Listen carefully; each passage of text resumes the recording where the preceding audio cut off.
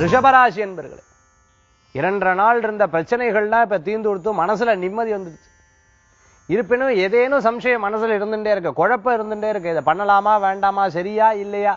நல்லவாளா கெட்டவாளா இந்த தொழில் பண்ண எனக்கு நன்னா இருக்குமா லாபம் பண்ணா முடியுமா இல்லையா? இந்த மாதிரி பல்வேறு விதமான எண்ணங்கள் மனசில் தோன்றி மறையும்.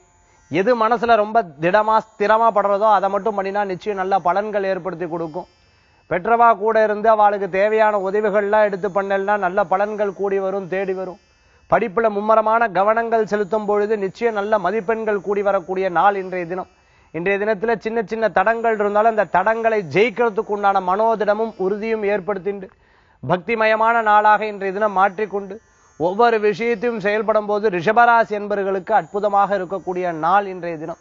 சில விஷயங்கள் நம்ம பேசும் பொழுதும் பலர்கிட்ட இதை பத்தி சொல்லலாம் பொழுதும் மற்றவாளை பத்தி பேசலாமா வேண்டாமா? நகைச்சுவையா பேசக்கூடிய விஷயம் அவளை பாதிக்குமா பாதிக்காம யோசிச்சுன்னு பேசுறது நல்ல பலன்கள் உண்டு. ரிஷபராசி என்பவர்களுக்கு வியாபாரத்தில் அனுகூல்யமான நாள்.